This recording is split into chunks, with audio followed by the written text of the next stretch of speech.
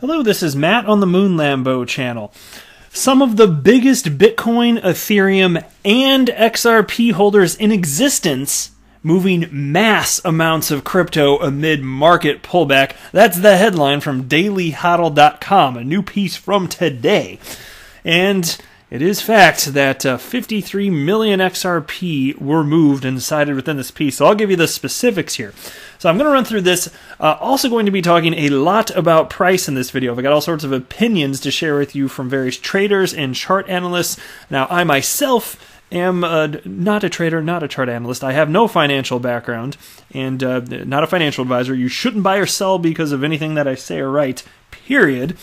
Uh, but uh, I do think it's fun to follow this stuff just as an enthusiastic member of the XRP community. So before we go any further, if you would please delicately tap that like button, and if you're a fan of Ripple and XRP, you done came to the right spot, son. Go ahead and subscribe to the Moon Lambo channel, because if you do, all of your wildest dreams will come true. Vote for Pedro. All right, so the uh, asset class, market cap for the asset class, $293 billion. Uh, Bitcoin's at $10,269 as I record this, and XRP is trading at 28.2 cents. And uh, the last 24 hours have been interesting. XRP's been heading upward, and uh, Bitcoin most certainly has as well. It's again obviously back, like I said, it's at 10,269, so back above $10,000 after having dipped below for a while. Uh, so let's go ahead and dig into this piece. What are all these people doing moving all these huge quantities of XRP and Bitcoin around?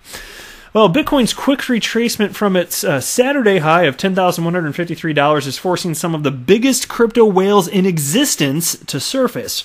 Bitcoin is down 2.71% in the last 24 hours, according to CoinMarketCap, reaching $9,753 at time of publishing. And so again, we have the benefit of hindsight here. Obviously, we know that Bitcoin's uh, uh over 10,200 now. Um, in the same time frame, Bitcoin whales moved 37,647 Bitcoin worth $374.1 million across 24 separate transactions. The largest single transaction sent 15,000 Bitcoin worth 151 million uh, between two wallets of unknown origin.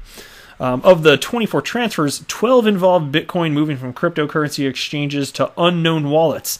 10 of the transfers sent Bitcoin from uh, an unknown wallet to an exchange where it could be sold on the open market. So, interestingly, uh, it seems like um, all of the you know the, the, tumultuous nature of the asset class in terms of uh, price volatility as of late. It's uh, it's got everyone a flurry here, and you got these whales being extra splishy splashy right here. Uh, so move down here. Let me get to the XRP part of this now. Uh, meanwhile, XRP whales are also making a splash. The crypto tracker Whale Alert caught two large XRP holders moving funds. One transfer sent 33 million XRP worth 9.1 million dollars from the crypto exchange Bithumb to an unknown wallet. The other moved, I'll just round up to 20 million XRP worth 5.4 million dollars uh, from an unknown wallet to Bittrex. And then they go on to talk about uh, Ethereum right here, which I'll, I'll, just gloss over that point. I think you get the gist of it here. Uh, these whales, uh, they uh, they just uh, they, they don't know what the hell's going on. Uh, next year, here's an, a, a, chart analyst, Denis Sarachek, who's a, uh, a trader, a chart analyst with crypto media outlet U.Today. And he's got his, what he calls his price prediction, XRP. So let me scroll down to this part here. Um, XRP is the main loser compared to Bitcoin and Ethereum.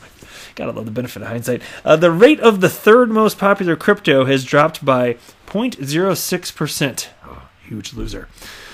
Uh, in terms of the short term price forecast, XRP is already facing a correction before one more bullish wave starts. In this case, the bottom of the local decline might be the support level at 26.5 cents.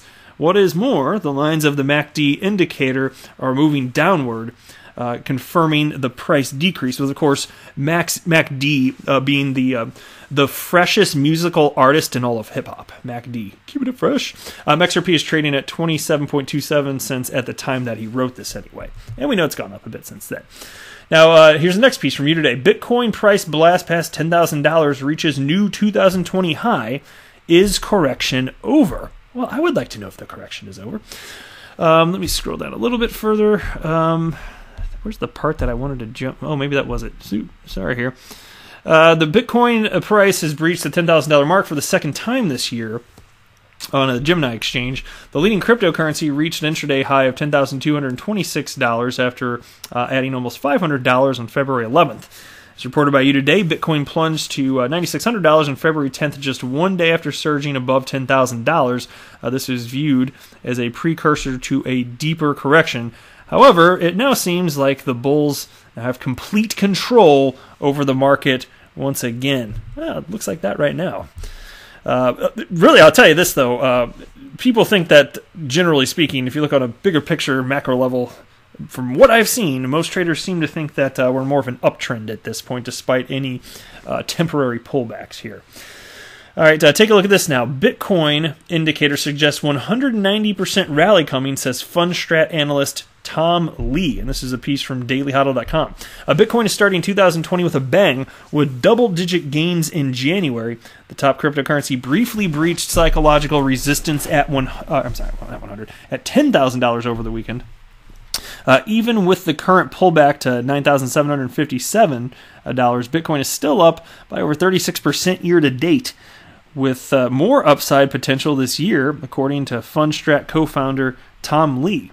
In a recent appearance on CNBC's Power Lunch, Lee argues that Bitcoin is now at the start of a new bull run. Here's a quote A lot of good things have happened with Bitcoin this year. Uh, one is the halvening is happening in May, but we broke above the 200 day moving average, so back in a bull market. Uh, there's the coronavirus risk and geopolitical tension. Last year, I think the Washington, uh, I think Washington killed the Bitcoin rally, but with the elections, it's sort of not in the purview of Washington. So I think Bitcoin could rally very strongly from here. And then he added, "quote When Bitcoin breaks above its 200 day, which it did about two weeks ago, its average six month gain is about 190 percent." So this would point to all time highs sometime this year. Well, that would be fascinating. Uh, next, here's a tweet from uh, Awake, who is at Mr. Level Up on Twitter, member of the XRP community. And he wrote something simple, but I like it. Lots of green will continue to light up the space. Go XRP. As Bill Shakespeare once said, brevity is the soul of wit. All right, next. Here's a tweet from High Altitude Investing. Dude, this Bitcoin Elliott wave count just keeps getting sexier. Three wave minimum target equals $23,000 for Bitcoin, $23,000. Volume keeps growing and breaking records. Ichimoku Cloud, which sounds made up, is now supported on 3D. The cycle is just getting started here. And this is what I'm telling you. So I just highlighted um, Tom Lee, and now we got High Altitude Investor. I'm telling you, the, the general view from from uh, chart analysts is that uh, this is the real deal here, right? We are heading. That's the way that I'm taking it. The way that everybody's out there, because I'm not pretending to know how to read charts. I don't want to learn how to read charts. I just love researching fundamentals. I'm a long-term holder, so that's all I'm actually interested in, in like learning for myself. But that's why it's fun to be aware of the opinions of people that actually know how to read charts and are, and are traders. It, it is interesting. I just don't want to learn how to do it myself. That's all. All right. Um, now here's a tweet from Glassnode. Check this out. This is also interesting. Historically, when Bitcoin has approached local or global tops, we've seen increased deposits to exchanges as investors look to sell. Not this time. There's no indication that Bitcoin is overvalued. Well, how about that one?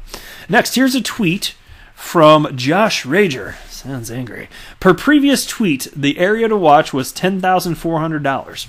Bitcoin pumped and tapped the top of the value area high and also weekly resistance. A close above there, I think price continues to push higher before the next pullback.